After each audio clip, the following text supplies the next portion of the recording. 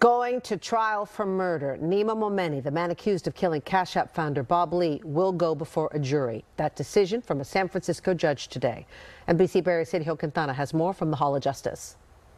During closing arguments, the defense team for Nima Momeni tried presenting various scenarios by which their client would not be potentially blamed for the stabbing death of Bob Lee. But in the end, the judge decided that the state has presented enough evidence for him to continue on to trial for a single count of murder.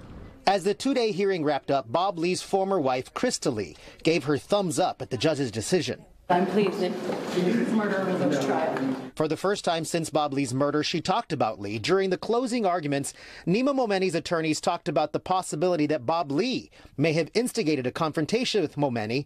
She says that doesn't make any sense. The fact that he stabbed him multiple times is, is disgusting.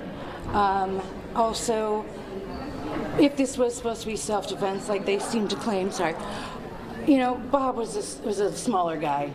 Nima is substantially larger than him. He could have shoved him, pushed him, punched him.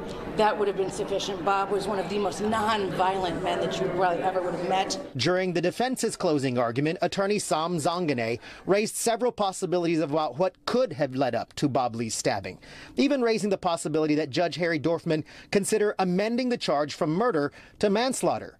Judge Dorfman did not accept any of those arguments. We put on our defense, right, for the preliminary hearing. And our defense for the preliminary hearing is probably not going to be our defense for the trial, right? Nima Momeni will remain in custody till his trial. His next court date is August 15th. In San Francisco, Sergio Quintana, NBC Bay Area News.